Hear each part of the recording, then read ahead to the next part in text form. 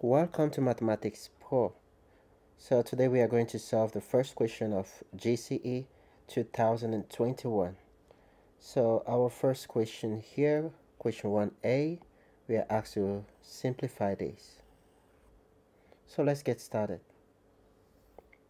So looking at this question, right, we can see that we have ax squared and we have a minus and we have b square y square so we can call it the difference. This is the difference of 2 square. So we are going to use the formula of difference of 2 square to solve this problem. So what is the formula of difference of 2 square?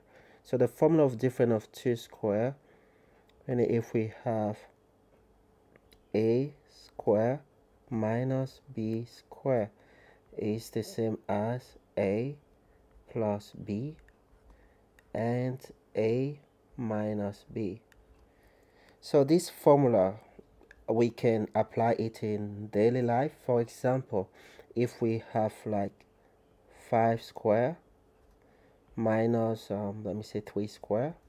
Normally 5 square is 25 minus 9, 25 minus 9 is equal to 16.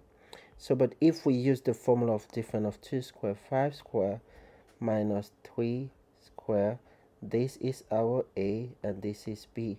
So the formula say a plus b. So this is a and this is b. So the formula say a plus b. So a plus b 5 plus 3 bracket a minus b 5 minus 3 so if we simplify this we are going to have this will give us 8 and if we subtract this we're going to have 2 if we multiply them together we are going to have 16 so we can see that this formula is true and we can use it in daily life. To multiply equations involving a difference of 2 square. So let's move on to our question which is to simplify that.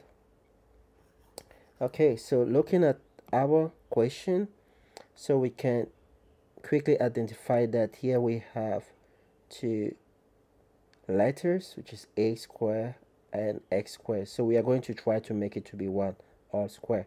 So we can use the principle of exponent to do that. So this can be written as a x all square is the same thing minus this can also be written as b y square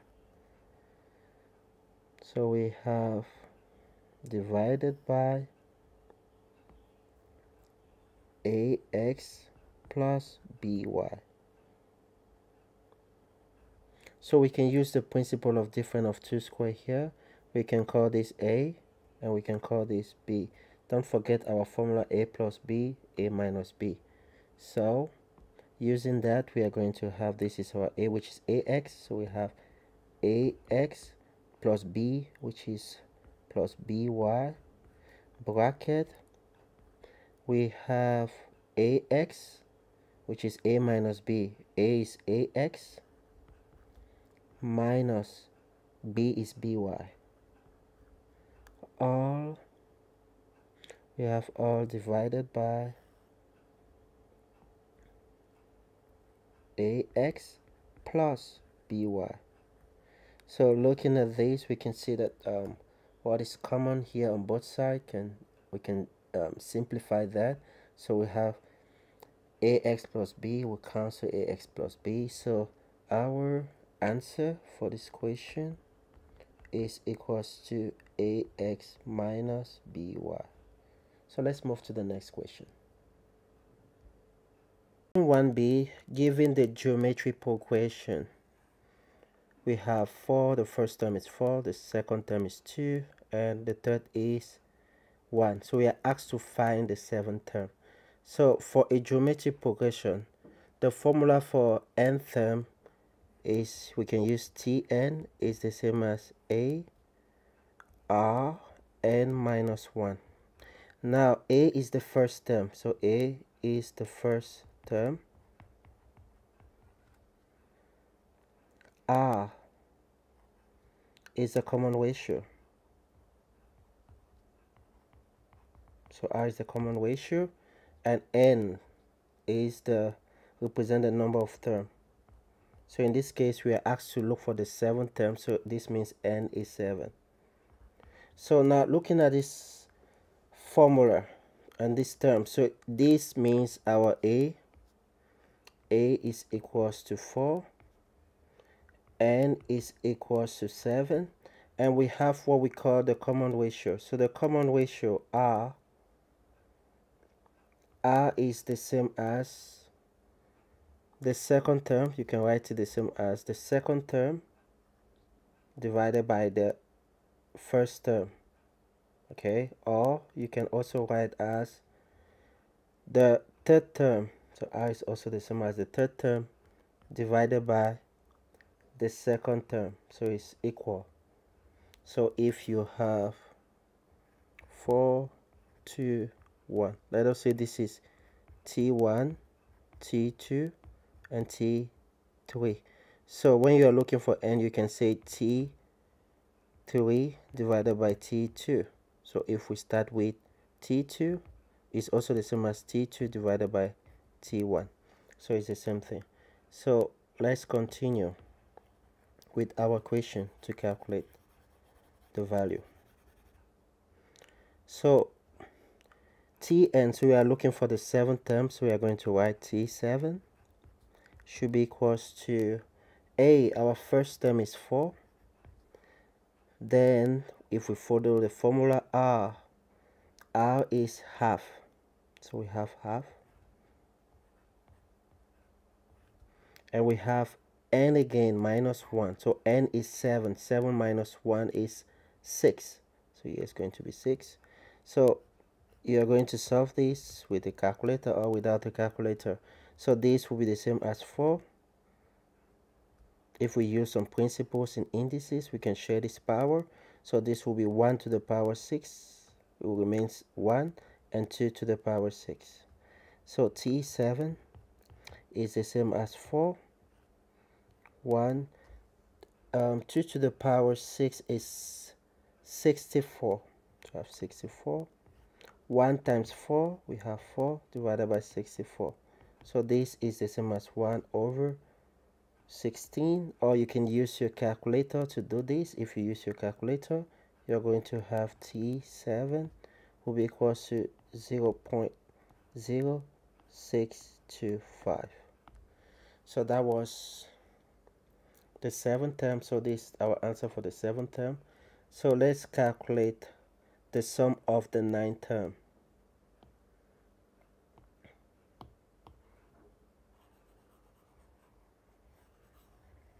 So we are going to look for use the formula for sum of the ninth term.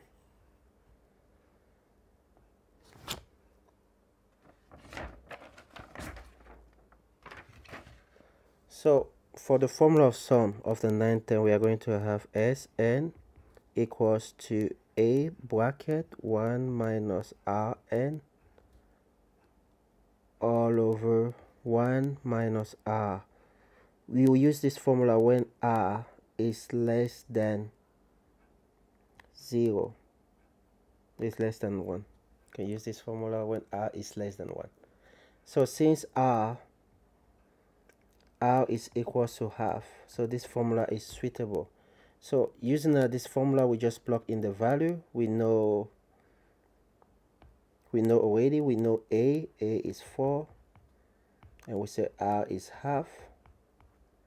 We are asked to calculate the sum of the ninth term, the sum of the first nine terms. So we can call n to be equal to 9. So the sum of the ninth term, the first nine term, so will be equals to a. So we are going to have 4 bracket 1 minus half to the power 9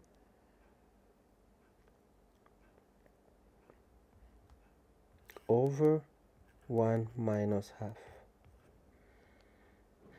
So if we move further, sum of the ninth term, first nine term, will be equals to, you need to use your calculator here, to simplify this first. So if you use your calculator we left with here 4 this is also the same as 1 if we put this here we are going to have 1 2 to the power 9 is 2 512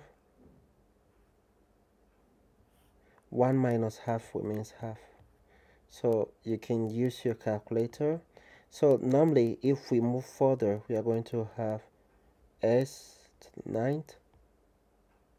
So this will give us 4 we are going to multiply this times 1 and we minus 1 so this is also the same as 511 divided by 512 over half. Normally if you want to have this this is approximately equals to to 1 so we are going to have four, this is approximately equals to 1 4 divided by half which is the same as 8 so this approximately equals to 8 but if you use your calculator in two decimal place the sum of the first nine term will give you 7.98 okay so when you're using your calculator make sure you simplify you simplify the bracket first then you multiply times 4 and so on. Okay so let's move to question 1c so for question 1c you are asked to find the geometry mean. Okay so you're asked to look for the geometry mean. So the formula of geometry mean okay if we have like a b c the mean represent the one in the middle the average. So the formula for geometric mean you can call it gm is equals to the square root of ac so this represent A and this is our C. So if we have GM so we are going to have 196 times 15,625 normally you are going to use your calculator. If you use your calculator you multiply this with your calculator. This will give you 3 million